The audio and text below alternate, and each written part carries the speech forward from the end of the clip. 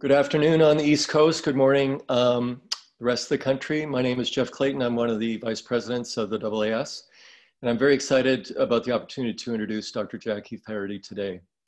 Dr. Faherty received her PhD in physics and astronomy from Stony Brook University. She was an NSF fellow at the University of Chile and a Hubble fellow at DTM. Research interests include properties of brown dwarfs and hot extrasolar planets, kinematics, astrometry, star and planet formation, Wolf-Rayet stars, emission line stars, planetary nebulae, machine learning, and scientific visualization of large data sets. And perhaps most importantly, Jackie is one of the discoverers of Manhattan Henge. Um, we're going to start in just a second. Just remember, you can submit your questions, write them into the Q&A, and um, we will answer the questions at the end of the talk. Uh, we're going to have lots of time because we've added 15 minutes to the question period at the end. So please stick around. So um, without further ado, please welcome uh, Jackie Faherty. Thanks, Jeff. And thank you everybody for tuning in wherever you are, whatever time zone you're in. Um, I, I know this is recorded, so some people will be watching from the future.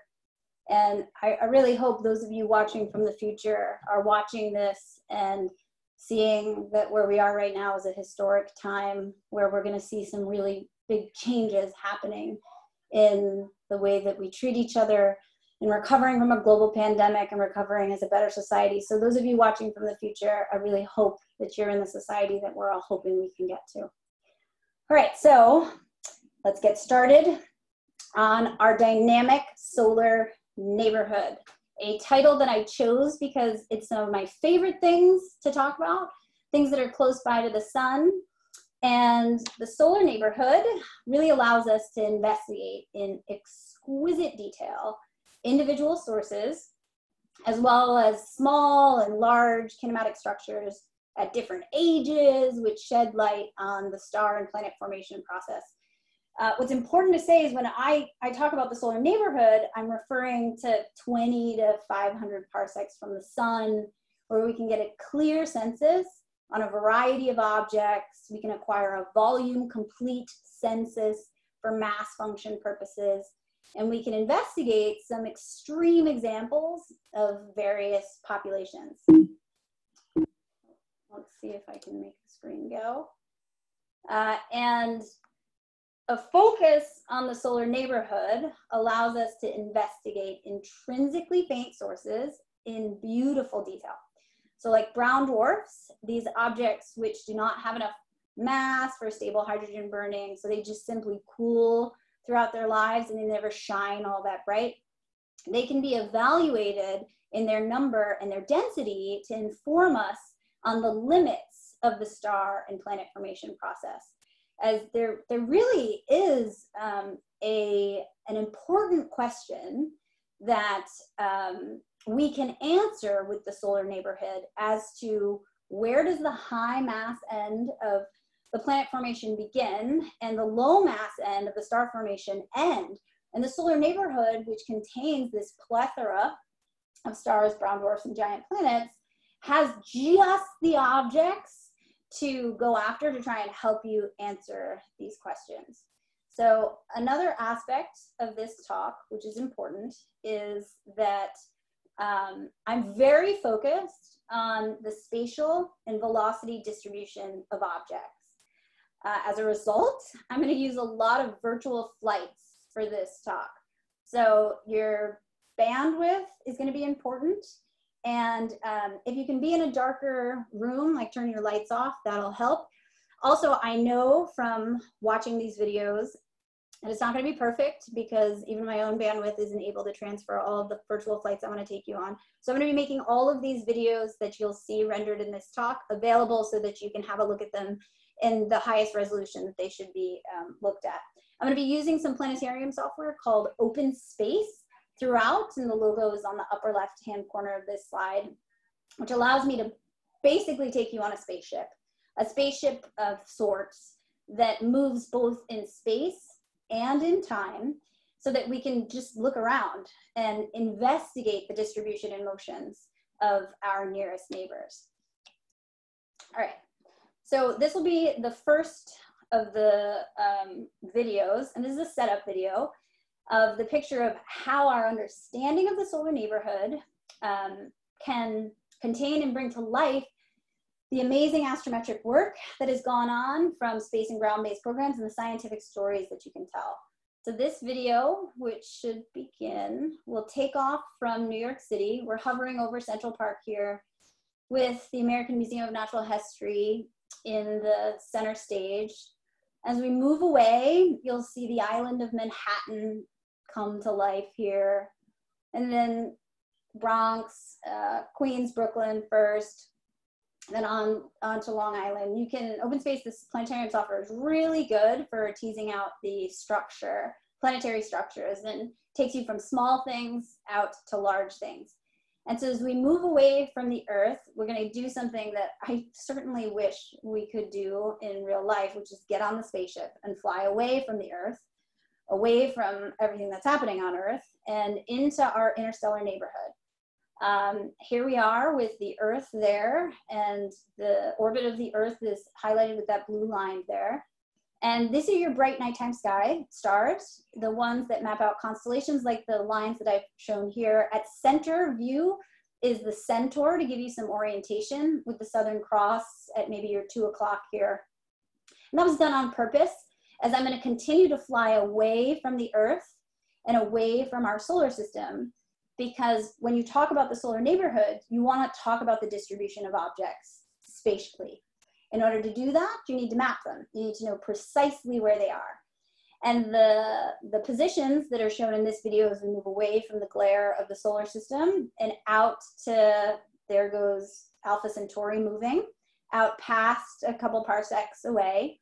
Um, you're capturing some of the structure. And this is all mapped by Hipparcos. So what's clear in here is that there's not too many stars that are showing. And that is largely because Hipparcos was a bright star astrometric cataloger. If you're going to try and get to the fainter objects to really beat down the barrier on star to brown dwarf formation uh, and planet to brown dwarf, you need to go fainter than this in the stellar neighborhood. Even still, there goes the Hyades, you see a little bit of kinematic structure. We need to revisit this view um, with a new flight uh, a new virtual flight that I can take you on now in the era of the Gaia, the European Space Agency's Gaia telescope revolution, which took us from the 118,000 parallaxes that Hipparcos had to 1.37 billion in the data release 2 catalog. So a 10,000 fold increase in objects and really helped fill in the distribution of the nearby solar neighborhood so that we can do some volume complete census samples. Let's have a look at what that looks like. And this is certainly a video that's gonna challenge your bandwidth. Uh, but bear with me here. This is gonna be a flight that takes off from the Earth again. It's gonna be a very similar orientation to the one that we were just in, where uh, there's the Centaur again at your, you know, two o'clock to your six o'clock with the Southern Cross there, which means that Alpha Centauri is right in front of you. So we're moving away from the solar system again through Hipparcos and in a moment, I'm going to show on essentially just to impress upon you Gaia DR2 and the vast number of objects that it has mapped and filled in for our solar neighborhood. So we're moving away from the solar system. And as we do, this particular video rendering has just over 7 million stars in it. 7 million stars, which map out the radial velocity sample that Gaia DR2 provided. And so I'm moving away from the solar system and I'm gonna kind of move around it slowly so that you can see what it looks like. Again, to impress upon you the, the, the beauty of what's really close to the sun and visually look around, like look around and look for structure. The objects are color coded by temperature as well here, or color coded, sorry, by their color, which is a proxy for maybe what temperature that they are. Uh, and as we're kind of shifting around here, um, I think there's so much exciting science in here, but to get down into it, we need to break this up into subsets. So let's take yet another visual flight. The last two were just the build up, a build up to showing how the solar neighborhood has been filled in through an astrometric survey of recent years. And there's so much exciting science we can tease out of here. In order to investigate a specific question regarding where the star formation process ends and the planetary formation process begins, we must look at subsets of this data. So we're going to begin with the 20 parsec sample. Uh, and this video is going to take me a second to set up. This is going to be only the spatial distribution of the Gaia DR2 mapped 20 parsec sample supplemented by several ground and space-based programs that were going after the coldest compact sources that Gaia just simply can't get because it's an optical survey that doesn't go deep enough to reach cold compact sources like cold brown dwarfs. Gaia DR2 has within the 20 parsec sample 5,400 objects. I have eyeballed every single one of them they're not all real. There's a lot of astrometric garbage that exists in the galactic plane and because of the large and small Magellanic clouds. So let's move around this, um, let's move around this structure a little bit. And these objects are color coded by their position on a color magnitude diagram. So the red objects are cooler objects and the yellower objects are warmer objects. I'm gonna fold these objects from their spatial distribution, which is not all that interesting necessarily, a couple of binaries in here. I'm gonna fold this onto a color magnitude diagram. And this color magnitude diagram, which is showing you the absolute G-band magnitude versus the G minus RP color, so these are the Gaia colors and the Gaia absolute magnitude, gives you an exquisite first view at what the HR diagram looks like for the nearby sample. Let's talk about what's in here. Um, you probably saw some objects exit stage left in the distribution. They're gonna come back in a second as I'm gonna morph through a couple of different color magnitude diagrams.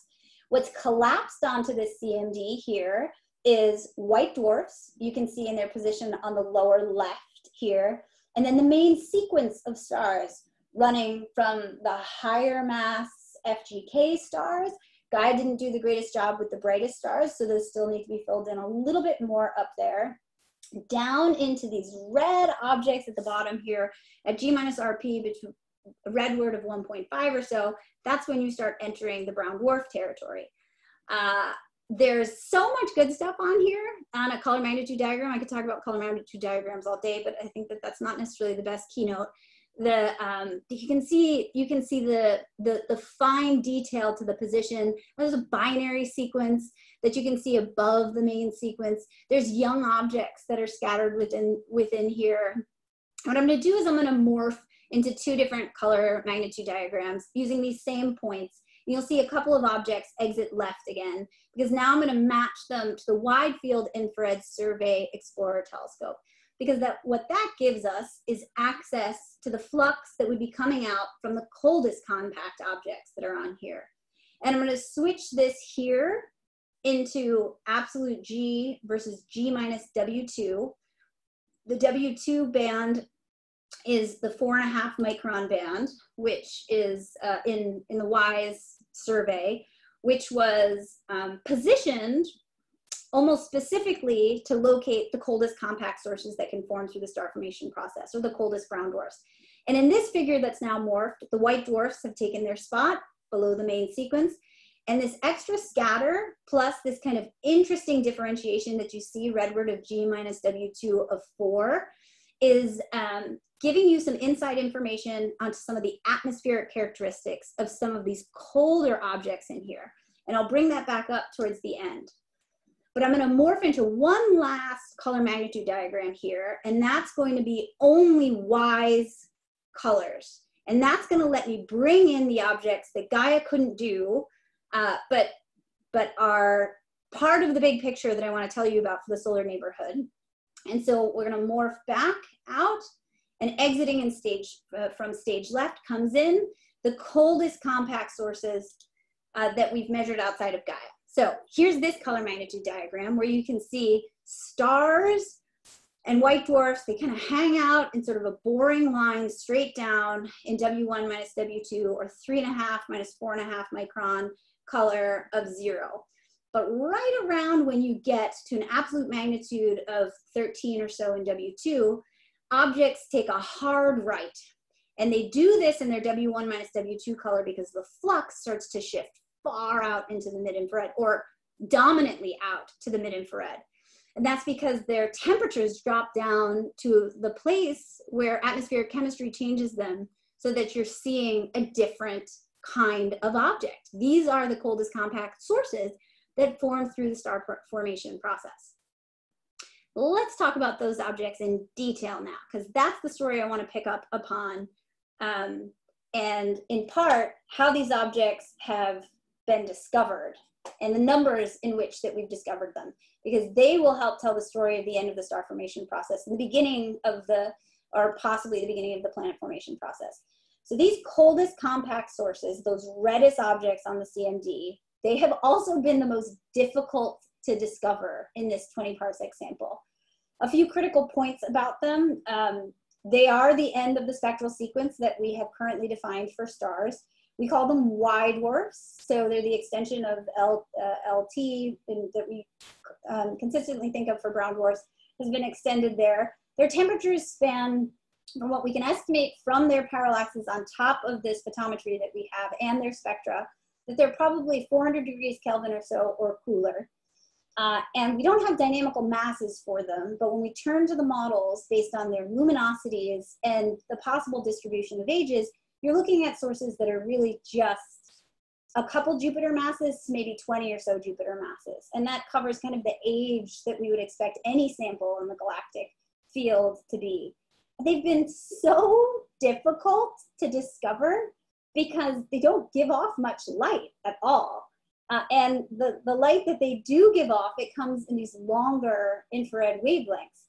Uh, so they're, they're the true markers of the bottom of the star formation process or the top of the, the planet formation process. And this montage of jumping orange dots is showing you some recent discoveries of candidate Y dwarfs uh, from a team that I've been working with uh, on a citizen science project called Backyard Worlds Planet Nine. Uh, these postage stamps are blinking five years worth of WISE data uh, in a 120 arc second field of view. And we've had a bit of an army of citizen scientists that have been helping us blink through images and searching for little dancing orange dots like this. They're orange because their W1 minus W2 color is basically dominated by W2 flux. They get very little flux in W1. All of the flux comes out in W2 where they have this methane feature. Uh, and the montage really highlights discoveries that are made by citizens. And now I'll, I'll answer this question later if anybody has it, but we have had to turn to blinking images because these objects are very low signal to noise, even in WISE, where they're giving off a lot of their flux. And many of them, as you can see, are in some crowded-ish regions. And so the human eye has been extremely important for us to try and make some discoveries. And I want to highlight some of the folks that have been doing this, that have been helping with this project. These are some of the faces of the citizen scientists that have been working with the researchers in trying to discover these new cold compact sources that are in our very, very backyard. Uh, and while they've been finding the, the, the point of Backyard Worlds, colon Planet Nine, uh, was, from my perspective, always to really navigate to a complete census of the coldest objects that are the hardest to find so that we could dive into the mass function. And we could say something about the end of the star formation process. But these citizens have been so great. They've been making all sorts of other discoveries. It's led to several awesome papers. Um, I'm listing a couple of them here. And so in Backyard Worlds, we've been using our eyes to just blink objects and just go through millions of tiles to try and identify these faint, um, fast moving objects. And there's one citizen scientist on here, Dan Caselden, who I have to highlight, that also joined a subsequent project that I'm a part of called Catwise. Um, Catwise is also a catalog that you might have just recently seen has showed up on um, IPAC or on, uh, on Gator with IPAC.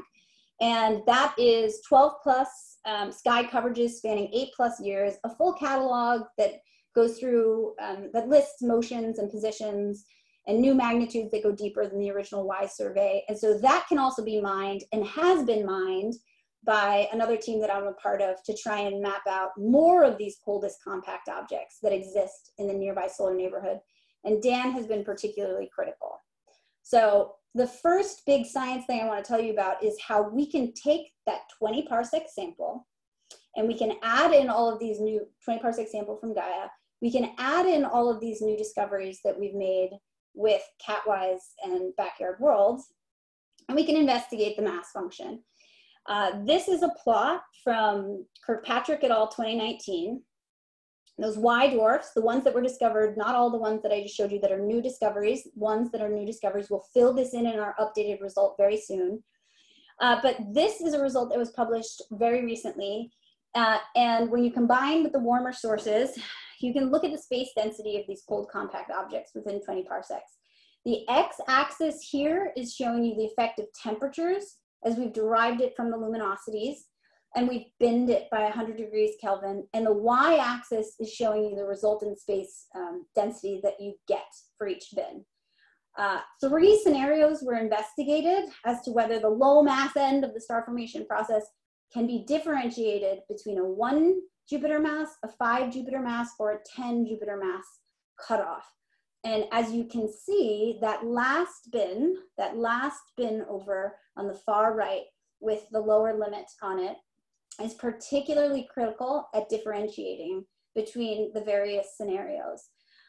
Um, but the conclusion that we can draw to thus far, and not quite with all the filled in stuff that we've got from Backyard Worlds and Catwise, but that um, at minimum there's a 10 Jupiter mass cutoff to the low mass star formation. And we have some updates to this in the coming year that'll shed more light on that last bin.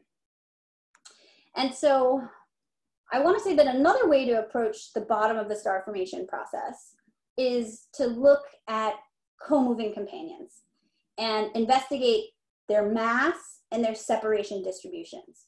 So here's another montage. I mentioned that these citizen scientists, when we asked them to find the you know moving Y dwarfs or the moving orange dots, they then came back and kept identifying these very cold objects that, for instance, like the one on the lower left, that orange object that was moving back and forth with another source that had not been cataloged or identified by anyone previously. So they would identify serendipitously as they were blinking through images, new co-moving companions. And so this is a montage of other new discoveries that they've made. So let's get back on our virtual spaceship and look through and talk about co-moving systems in the nearby solar neighborhood and what they tell us about um, the end of planet formation or the, the or sorry, the end of star formation or the, the start of planet formation. So this flight starts around the sun. That was the 20 parsec sample that I just turned off. And now we're kind of moving around a sample of objects that are all moving with one other source. And now I've moved time forward in incremental steps where every second um, 100,000 years goes by. And so you are doing something that clearly the human humans can ever do, which is looking at the structure near you in family members, in these objects that are identified as co-moving. These objects are all within Gaia DR2's 100 parsec sample. This sample here roughly contains 110,000 sources. And you can see, even just visually, as we're looking around this flight, that there is a um, there is a distribution in how widely separated they are from each other. And in the colors that are on here, you can see that there's differences in the, the pairs that currently exist. Uh, so let's dig deep in here. So as I noted, looking at the mass and separation distributions of these systems might just shed some light on the formation process that sculpted them.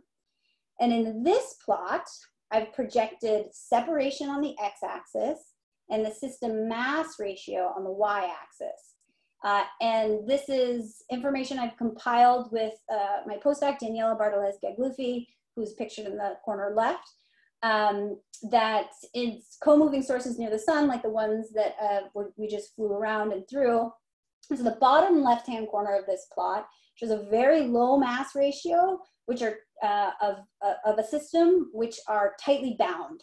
And the top right-hand corner of this plot shows near equal mass ratio that are um, at very large separations. So basically the bottom right is planetary systems and the top right is widely bound binary systems. So what happens between those corners? Uh, what happens between them is where a lot of interest is. And um, as you can see, because that's probably the transition between how planets are forming and how stars are forming. Uh, there's a lot of caveats on this plot, and uh, including the masses that you have to assume in order to get the masses of any one of the systems as these do not have dynamical masses. There's errors in the projected separations that might be quite large, and there's biases in the detection methods that went into discovering all of this that are certainly played out on this plot. But even still, I mark with a dashed line on here uh, this area of interest that Daniela and I have been calling the highway, uh, which previous theoretical work has investigated as intriguing, as an intriguing area to investigate for the difference between, say, gravitational fragmentation of a system or core accretion for giant planets. And now color-coded on either side of that um, dashed line here are young giant planetary companions. Now, again, the masses come from models and the separations come with their errors, uh, but we are certainly interested in looking at the distribution on this plot of both the young systems and the older systems the age of the system is critical to determining the masses of the systems. And so you do want to know this plot in terms of how old the systems are. So yes, by looking at the distribution, you can tease out um, mass distributions and separation distributions, but you can also, let's look at the distribution of young things that are, sorry, somebody's trying to come in here, um, young things that are near the sun. All right, so this is a sidebar, but related in that the color-coded objects on that last plot were the young giant planetary systems. We want to know where the young, young structures are near the sun. So let's take a little flight through new kinematic structures in the nearby solar neighborhood and what they tell us about structures at different ages through the, the solar neighborhood. Now I'm starting with those same objects that were the co-moving sample um, and flight that I took through where every one of the dots is moving with another star. And sometimes a co-moving system is a signature of a co-evolving co-moving system. And sometimes those systems are the signature of something larger, a larger structure that you might be interested in looking at. So here we've now um, flying you out above the solar neighborhood at a bird's eye view. The only stars shown here are ones for which we have differentiated structure, uh, that they're co-moving with something else. Um, a lot of this comes from a paper by Kounkel and Covey, I think it was just last year in 2019. It's supplemented with structures that myself and Jonathan Gagne have been finding. There's a lot of really awesome work with Gaia DR2 in locating these kinematic structures near the sun. Uh, I've turned off the binaries at the center here. And now I'm once again gonna move through integral steps of time, at this time at a million years a second, so an irrational amount of time, but it gives you an idea of how we're determining that these structures are co-moving with each other. And in determining structures that are co-moving with each other, we can then um, look to see what their ages are, whether they are known prior um, to Gaia DR2 or not. Many of these are new structures. And we can use those to, to do a deeper dive uh, into systems within them. Because those structures are all their own isolated little areas where you could look at the mass function or you could look at individual objects and what they seem to be.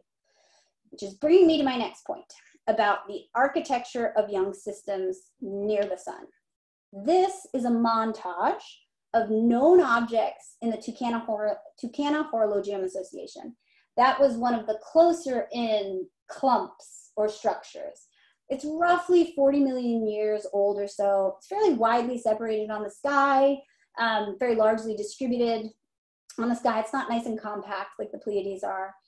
But each of these objects in this montage is a system, at least the first three, not necessarily the bottom corner. I'll, come to that one in a second, um, where a companion has been discovered that is right up at the boundary of where you're comfortable calling it a planet versus a brown dwarf. um, which is why I have at the bottom here, planet, brown dwarf, world. We don't really have a good uh, name for these kinds of systems, but we do know that these systems are definitely ones we want to investigate to see if there's any signature within them of something that tells us about how they formed. So for instance, um, AB pictoris b on the upper left here, uh, that is a K-dwarf with this companion and all of the companions in here are the same temperature essentially. And all of these objects are 13 Jupiter masses. Roughly, that's model based, not dynamical masses here. And so the AB pictoris B system is 260 AU separation, a K dwarf and an L dwarf, so a, a, a pretty low mass ratio. On the right there, it's a binary M dwarf with a with an 80 U, 80 AU separated 13 Jupiter mass object.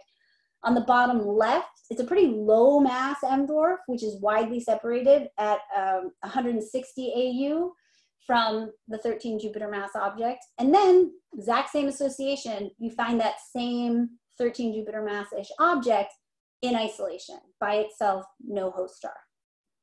So if you look at these objects as an ensemble, you could dig in to maybe a signature of how they formed. And if there's differences between them, there's certainly a difference in mass ratio and separation among these kinds of systems.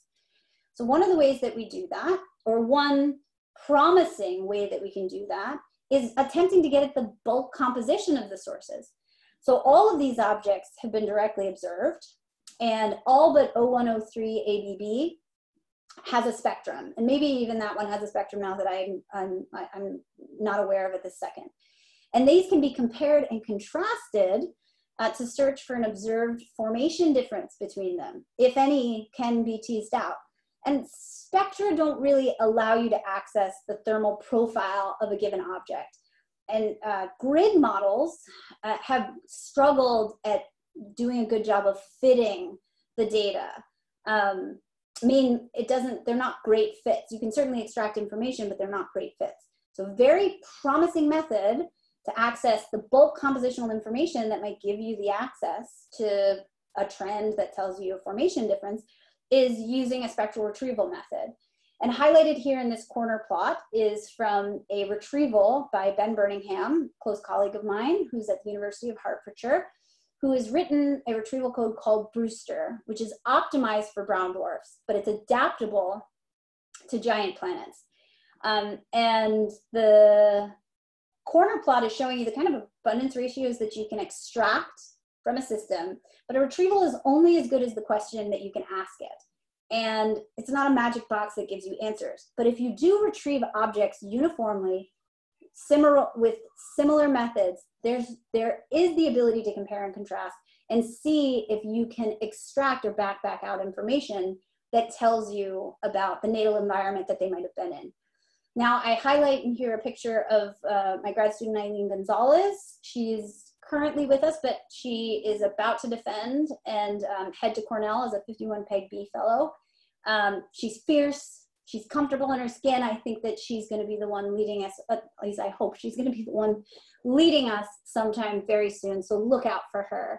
And she's been working on retrievals of uh, various objects, and you might be seeing more of this from her when she gets to Cornell. Uh, but in order to get to the bulk compositional information, you have to get past the atmospheres of these objects, which at this border between a planet and a brown dwarf at like 13 Jupiter masses. And at a young age here, they're at a temperature where the, the atmospheres are kind of crazy. So this is a little zoom in with a video that was rendered by friends of mine at the California Academy of Sciences. Uh, and it zooms in on a rendition of what one of these objects might look like. It's very reminiscent of uh, Jupiter and what Jupiter might look like. So um, recent results from even my own research have looked into these younger objects having thicker clouds. Uh, and you can think of them like hot, like Jupiter's with, which are warmer than Jupiter, but probably have similar red spots. Maybe they have banding from pole to pole. And so we really want to look at the dynamic nature of how the clouds change. Yes, you'd want to retrieve and get that atmospheric information out of them, but you also want to look at how their light is changing. And so um, another, uh, another piece of work I want to highlight that I think is absolutely excellent for looking at the dynamic nature of these cold compact sources is the following by another postdoc um, that works with my group, Johanna Vos. And this is recent work where Johanna looked into the way that these young objects are varying in Spitzer. And she produced a really complete compilation of objects with measured amplitudes of variation and estimated ages to show the rotational evolution of low mass stars into brown dwarfs and potentially giant planets. And on this plot, which you can see on the x-axis shows age and the y-axis shows the rotational period, the color of the objects is giving you an idea of temperature, which or spectral type, which is a proxy for temperature, which can be used as a proxy to get you an idea the mass might look like. You can see with increasing age, the rotational velocity of these sources increases like a figure skater pulling her arms in as she spins. And I think it's a really neat look at the evolution of these sources. So extreme angular momentum evolution is happening. You're seeing extreme cloud dynamics that are happening. And you're seeing these objects that are definitely all over the place in the solar neighborhood. So one last um, flight I'm going to take you on and this is going to be highlighting the uh, M dwarfs. Uh, and this is going to highlight the work of my graduate student, Rocio Kiman. And Rocio is fourth year grad student. She's been spending her time looking at M dwarfs near the sun and figuring out their ages. And she did an excellent job of taking M dwarfs from the Sloan Digital Sky Survey, figuring out their properties in Gaia, so that we could then take that and really understand what the M dwarfs near the sun um, look like and are doing. So here's a little virtual flight. We're moving away from the sun. Highlighted is really the footprint of the Sloan Digital Sky Survey. Every object in this video is going to be an M dwarf. And now I've turned on the 100 parsec sample from Gaia and only the objects that are M dwarfs. Um, there are of course hundreds of thousands of them in the 100 parsec sample. I'm gonna um, turn the colors off here and then I'm gonna pause in this motion because there's an important aspect of the solar neighborhood and the dominance of M dwarfs that I want to leave you as the last note of. So I'm going to move time forward. And similar to with the co-moving stars, um, I'm using increments of, in this case, 100,000 years a second moving by. And you're seeing basically the, the bulk motion of stars in the galaxy, of M dwarfs in the nearby solar neighborhood as they're moving around the galaxy. And a, um, a really important aspect is that the peak of the mass function is at M5. So M dwarfs are everywhere. And an underappreciated um, aspect of, I think, the, the evolution of the galaxy has been on the stellar flyby. Uh, recently, using Gaia DR2 data, Coryn Bailer-Jones took the radial velocity sample and determined what the stellar encounter rate is. Now, this was done for the Gaia DR2 sample with had radial velocities, which was largely dominated by higher mass stars. We haven't gotten a full view of what M dwarfs look like. There is a couple of M dwarfs accounted for, and so he took that into account. But the rate that he came up with, or that you can find from Gaia DR2, is that you get stellar encounters within one parsec, um, 19.7 plus or minus 2.2 every million years, you get an object that can fly closer than the closest star is to us right now. And this is a plot from Coryn's paper of perihelion time versus perihelion distance. So at the center point of zero, to the right are objects that are coming towards us, uh, possibly, and to the left, they're going away. And you can see there's an object that is at the million mark, mile, million year mark, um, that's almost kissing the bottom of the, the plot here, and that's because that's Gliese 710, which has a 95% probability of coming within 16,000 AU of the solar system. Now, of course, that doesn't have an impact on the inner solar system, but it's gonna, it's gonna move close through the Oort cloud. And this is something folks have looked at, but I think it's important to realize that in the coming years, we're gonna have a lot more DR2 radial velocities for M dwarfs, and they might be an underappreciated stellar flyby um, culprit of making a mess of different areas. We really need more information on how these stars are moving through um, the galaxy. And M dwarfs are really the historians as well as the gnats flying everywhere that you can learn so much from.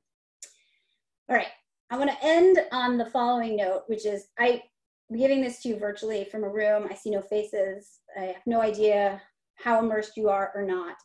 This is an image taken inside of the Hayden Planetarium at a talk that I was giving to 400 people in the general public about the same Gaia DR2 maps mapped through chemistry that actually um, a, a, colleague helped me create from Apogee and Galah data. Uh, I would love to see us take this kind of tour immersed in the data as visualization tools have really brought to life these three-dimensional maps that we have. Um, and so someday soon, maybe, I hope, that we can do this kind of talk, not virtual like this, but inside of an immersed theater like the Hayden Planetarium. We can really fly through data sets and talk about them. So I want to give special thanks to some folks that helped render some of these visuals at various planetariums, Adler, Morrison, and the American Museum of Natural History. And of course, the European Space Agency's DPAC team for creating Gaia DR2. And then um, my research group Kelle Cruz, Emily Rice, and I have been running brown dwarfs in New York City for the past couple of years. And this is the showcase of faces. I didn't get to showcase everybody's science, uh, but these are faces I hope that you get to see in uh, coming meetings. So I'll put my conclusion slide up. Solar Neighborhood can help us answer some of the most basic and important questions about star and planet formation. Individual objects are close enough to study in detail, and they're a laboratory for studying atmospheres of extrasolar worlds and that this multi-dimension nature of stellar catalogs is highly complemented by visualization tools that we should all think about using. And I'll stop there and take any questions that Jeff can throw at me. That you guys Thanks, can. Jackie. Great talk, great, great ride. And um, we've already got 12 questions written in. Um, I encourage everyone to write more questions. We're going to take as much time as we need to answer your questions. So uh, let's see here. Um, from Jim Sweitzer, great talk, Jackie. Does OpenSpace have a feature to show travel process relativistically, i.e. with aberration and Doppler shifts? Oh, and Jim Sweitzer, who was at the Rose Center when we opened, and so he knows planetarium software very well. Um, the OpenSpace, as uh, Jim might know, but I'm not sure if everybody knows, was software that was really developed for a planetarium. It wasn't developed for the kind of science usage that I like to use it for and that I was trying to use it for in here. And so the increment moves the moves time forward in a very, very basic way. So um, I can't remember what he was asking about relativistic, but the tool within OpenSpace is extremely basic in what it can do to move anything forward. And it does not take into account, for instance, gravitational potential or interactions with other stars. I'm literally just pretending that I can propagate a total velocity forward over a set amount of time. We've got a question from J.H. Miller, one, uh, double question. One, uh, can we say what the cutoff is between planets and brown dwarfs? And second, I assume JWST will make it much easier to find cool brown dwarfs.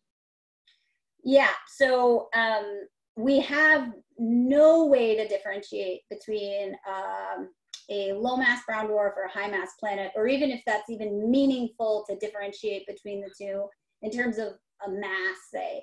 What we really want to be able to do is say what the formation mechanism was that created the object, because that's a meaningful aspect of the physical evolution of the source.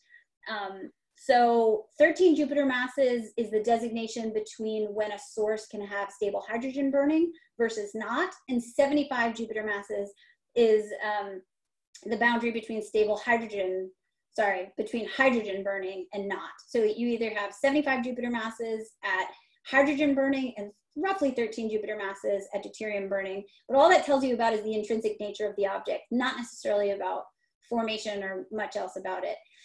JWST is going to be a critical instrument for studying the known objects. I'm not sure what it'll do for discovery, uh, since it's a very, as many of us know, it's a lot of overhead and pointing. You can't just sort of scan the sky, and finding new ones of these things has required us to scan the entirety of, you know, 360 degrees of sky. JWST is the instrument that we're going to go to in order to characterize all these new discoveries. So for those of you that are going to be on, on attack, you'll see that we're going to be putting in all of these objects as the best targets that JWST can point at because they're cold, they're near the sun, and they're going to have really interesting physics that uh, you can tease out through that spectra JWST will give us. So uh, William Waller asks, uh, how do you date these co-moving systems? Low mass stellar objects tend to be very old because they have such long lifetimes. Yeah, so um, as many people probably know, age dating stars is one of the most difficult things that we try and do. And uh, there's various diagnostics that we can tease out of certain kinds of stars. Solar type stars are a little bit easier. The um, asteroseismology gives us some interesting age diagnostics for giants. White dwarfs give you some age dating information. For the most part, uh, anytime we've looked at these co-moving systems, um, we break them down into those kinds of categories. When it's just a regular field star, there's not too much that we can say. Uh, gyrochronology is certainly helpful, but is not is, is, is not bona fide or fully calibrated so that it can give us great ages. But for a low mass object like a brown dwarf, you it we have very little ability to get to the age. We don't have many diagnostics at all.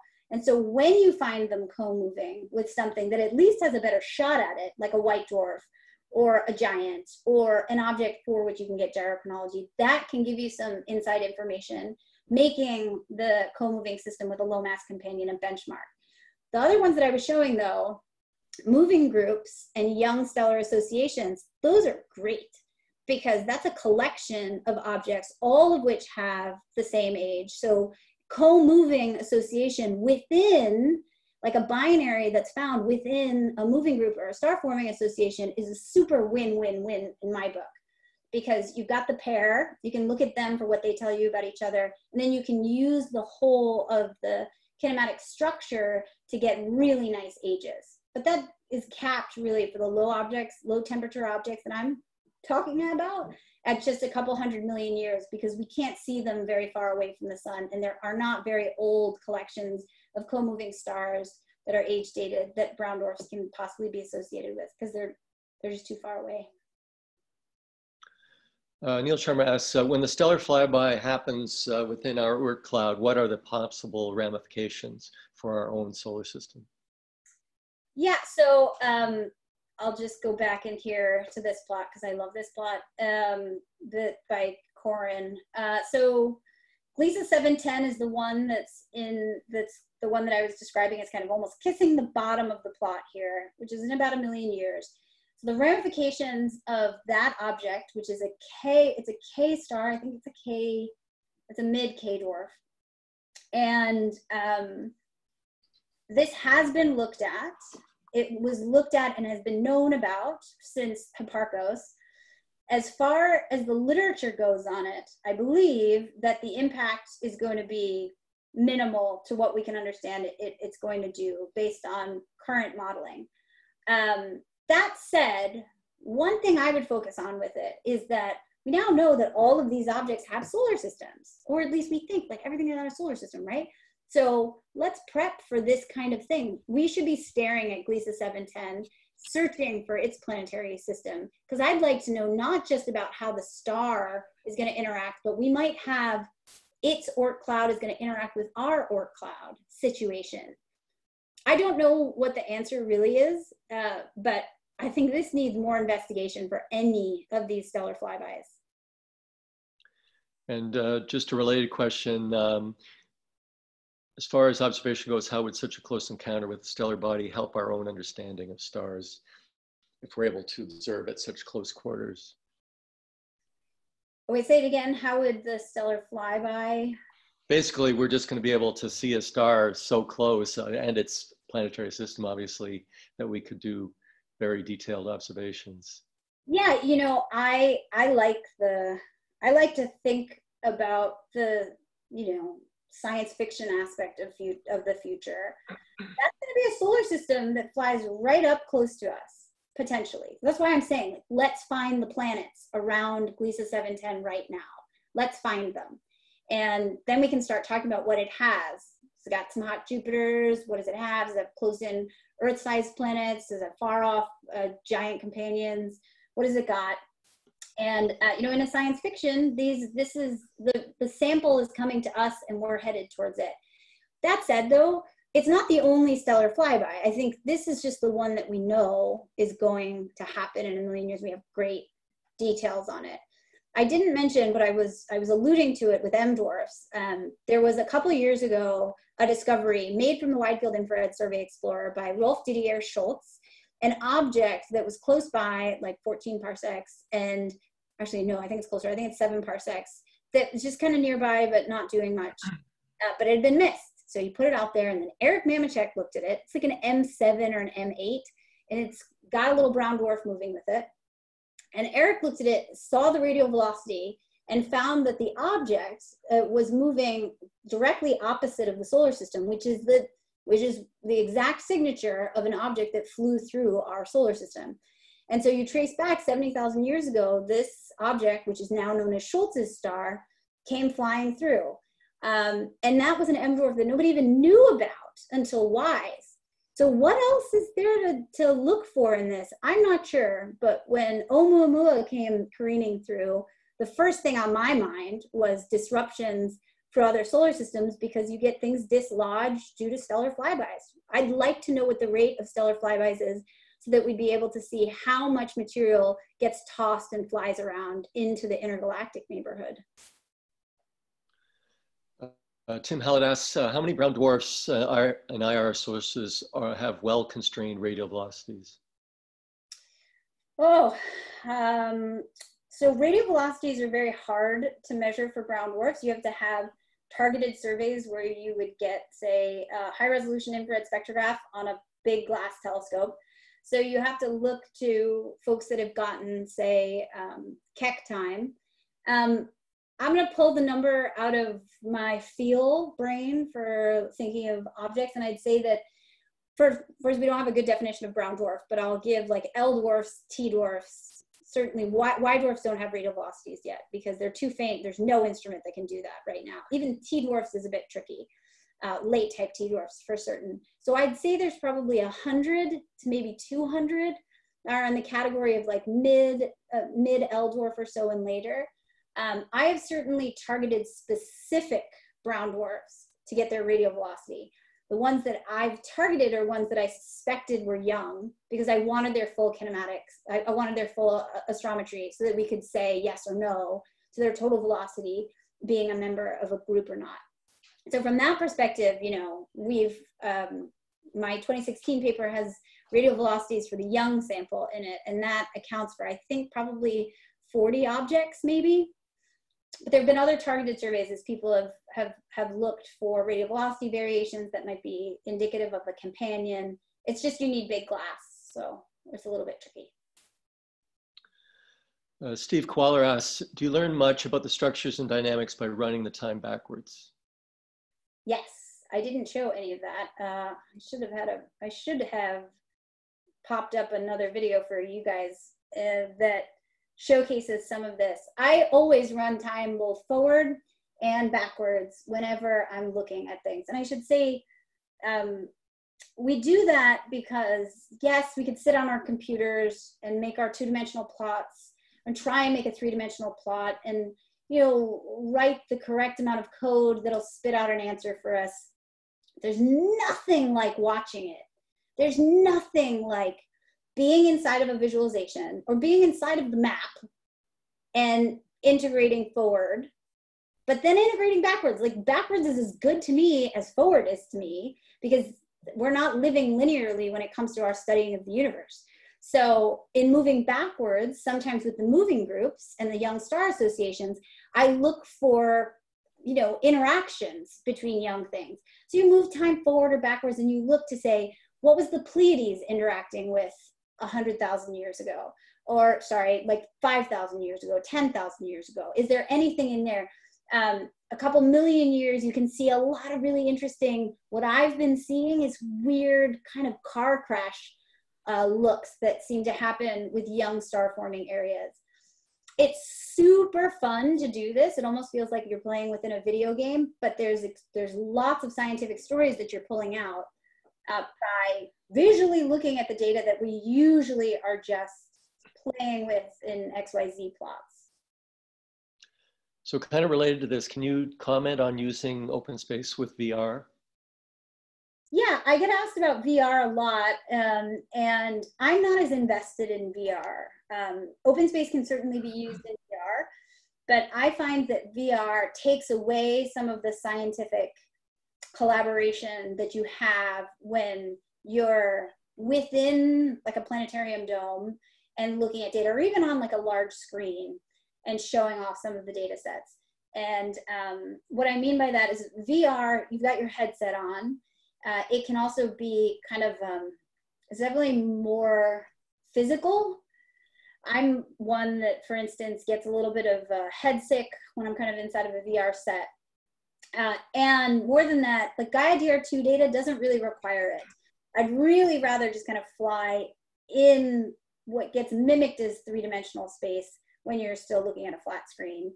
Um, VR is excellent for certain things though, and I should promote that in Cape Town at the planetarium there, the various folks who work at the planetarium are working with some of the scientists on the SKA, and they've been building some virtual reality modules to look through SKA data cubes so that they can really navigate around that huge amount of data and structure in order to see within it and outside of it, because they really want the three-dimensional structure. I just want to fly around the stars.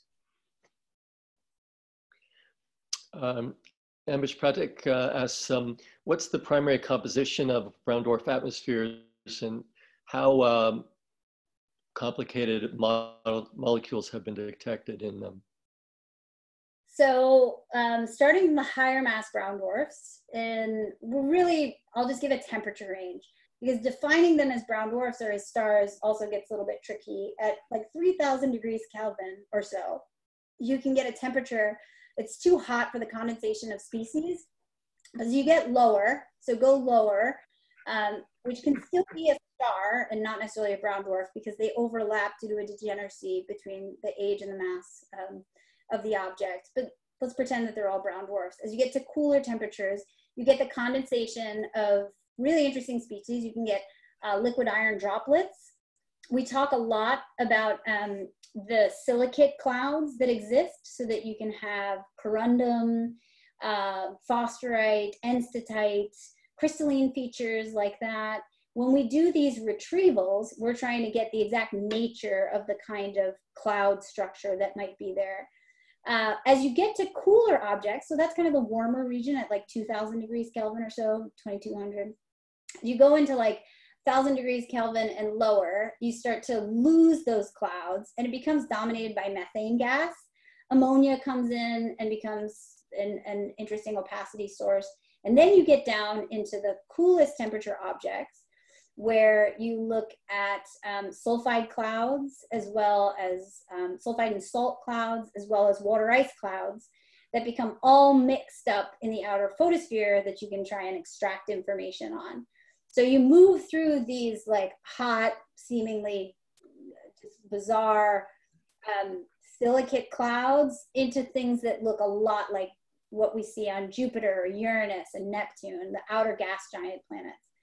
There's a very analogous objects. Um, I should say everybody should look at this paper that Brittany Miles just led that looks at the mid-infrared data, mid-infrared spectra of a series of Y dwarfs and looks at the uh, various model checks on what the cloud structure might be and also the mixing ratio of various abundances. So check out Brittany's paper that uh, came out, was probably like three or four months ago. Um, I've been looking into some things on Uranus and it was striking me how similar when they study kind of towards more of the interior of Uranus, how similar it is to some of the issues that we were looking at in that paper at the cloud structure of the coldest compact sources outside of the solar system. Uh, Jackie, a couple of people have asked you just, can you just name the object again, the one that's kissing the bottom of the diagram uh, that's going to come by in about a million years, and, and do we know its spectral classification? Yep, it's Gliese 710, and it's a K dwarf. I think it's a mid K dwarf. Um, Galactic Times asks, uh, over your choice of time period, how many objects have you, do you see in your data that have recently passed through the solar system and how many objects do you see that are on the way towards us? Well, this is the exact plot to, um, to look for in that. And uh, it's giving you perihelion distance on the y-axis and perihelion time on the x-axis. So if you were to draw a line straight down the middle at zero, everything to the right is an object that's coming towards us, and everything to the left is an object that was near us and has since already done its flyby. What's important here also is that the better the astrometry, the better you can get at deriving a plot like this. So you can see the error bars here are quite large for some objects. And um, uh, as soon as DR3 comes out, which again, this, this plot is just the 7 million objects or 7 point whatever objects, 7 point whatever million objects in the DR2 sample. But DR3, which is currently delayed, but when it comes out, it's supposed to have 30 million radial velocities in it. So a major uphaul on objects. And when that happens, I think we will see a, this plot's gonna get filled in even more. So we're gonna see far more structure to this. And once we get the M dwarfs in here, this is me speculating, but there's no way M dwarfs don't do some serious amounts of flying by. So this kind of related question, um, even within the, the five part, within five parsecs of our solar system, what's the completeness right now of uh, the known brown dwarfs? Uh, so this is something I've talked to, Davy Kirkpatrick is really the one that, um, I'm just gonna, I'm gonna put it on this plot because I really like this animation that uh, was made by Mark SubbaRao and Aaron Geller for me. This was the 20 parsec sample. Um, we've been trying very hard to get at the 20 parsec sample. We're certainly not complete in here. Davy has done quite a bit of work previously, as well as Todd Henry and the Recons group on the eight parsec sample. How complete are we? I actually feel uncomfortable saying because as soon as I say I think we're complete to a certain spectral type, I know somebody's going to make a discovery and we will not actually be complete. So um, I would say one thing Davy and I have talked about uh, is that within eight parsecs, what's super interesting is that K dwarfs are pretty dominant, but T dwarfs are giving the K dwarfs a run for their money when it comes to number, in sheer number. So that might be because the brown dwarfs move through the L dwarf phase fairly quickly before they get to the T dwarf phase. And so, um, so we don't have, we don't have a perfect sentence on LT or Y right now, but we're certainly looking within eight parsecs at a, a pretty nice sample out to probably mid T. Um, so we've sort of reached the end of our time. Um, ben, are we uh, having a hard cutoff? Uh, the meeting's scheduled for another eight minutes, so you should have uh, some extra time if you want to do a few more questions. Okay, I just got one more here. Um, have there been any brown dwarfs discovered in the Goldilocks zone of another star? In the habitable zone? Yeah. Uh, no, that's, uh, oh, I said that very quickly. I want to say no, um, but my brain has to calibrate on what distance that would be. So there is, of course, a brown dwarf desert, which is if you look close into a star to try and find companions at a certain um, at a certain separation, you stop finding brown dwarf companions. And if you look back on the 51 peg B paper, the original one by um, uh, by Michel Mayor and Didier Queloz, what's very interesting is that goes to 1995. And in 1995 was also the year that Gliese 229b, which is a brown dwarf companion, was discovered. And in that paper, which I've just had some students reread, what's interesting is the discussion about what that object might be, because 51 Peg B is a hot Jupiter. And at that point in 95, we didn't realize that that kind of uh, architecture could exist. And so there's a good conversation on there uh, in that paper about whether or not it's a brown dwarf pulled in very close to the star and um, and getting disintegrated so that you're you're getting them stripped and ripped away. Um, I said that very quickly about them not being in the habitable zone, but it could very well be that's a very specific range in space um, around a star. And I'd have to look at the distributions, but you do not find many brown dwarfs close to, um, to say FGK stars. Okay, Jackie, we're going to wrap this up. Thanks very much for doing this, and uh, it's, it's great to see you. Um, please take care and um, with everything. And uh, thanks again. Thanks. And thanks anybody who's still out there watching.